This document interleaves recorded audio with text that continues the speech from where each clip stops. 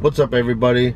My name is Dorian and I'm going to show you what it's like to change out the hubcaps on your Tesla Model 3 to a different look that actually gets to see the rims that you have on the car because the rims are so nice on this car. So the wheel covers that I went with for my Tesla Model 3 instead of the stock aero covers are going to be these wheel covers.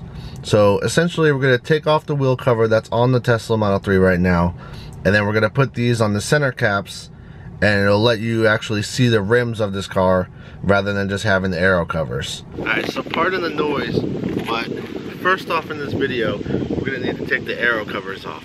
From what I hear, these are really difficult to take off, so just bear with me while I try.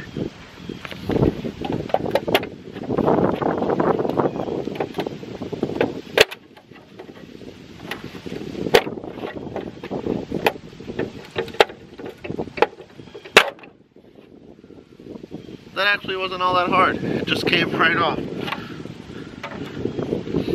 So as you can see, these are the rims that the car comes with. They're they're really, really nice looking. And I think the aero covers, granted it don't give you range, but I think the rims look really, really good. So I'm gonna go inside and grab the, the hubcap to cover this center part. I'll show you a little bit closer. So this is what the rims look like without the aero covers on. This is the aero cover here. As you can see, it's got the rim here that looks really nice.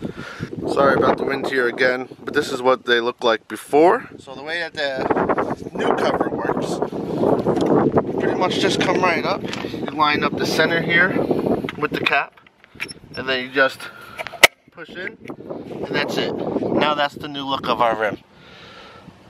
I think it looks pretty good. I got the gunmetal version. I'll link it in the description below. But I think it matches up perfectly with these rims. And it's got the little Tesla logo. It looks awesome.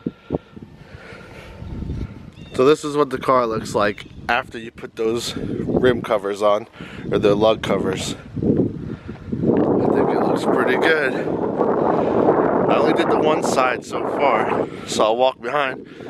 That way you can see what it used to look like. Holy crap, it's so cold outside. That's what it looks like with the wheel cover still on.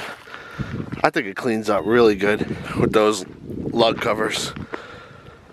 I'm gonna lose some range. I think you go from like max range would be like 350, you go down to like 343 or something like that. But for the look of the car, just looks so much cleaner.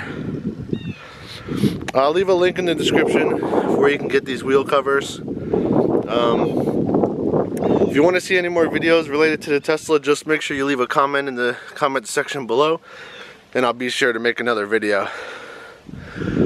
I'm still trying to figure out a filming setup and how to try to get a better kind of setup. So if you guys are enjoying this video or if you have any tips on what I could do to get it better, just be sure to leave them in the comments.